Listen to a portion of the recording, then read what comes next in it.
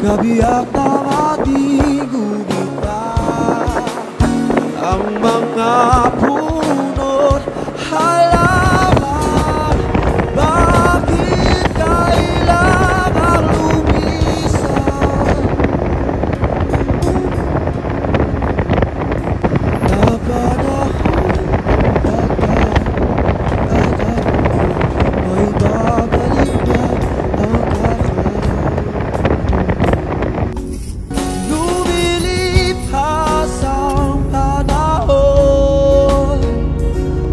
Tiyak ng ating gunitan Ang mga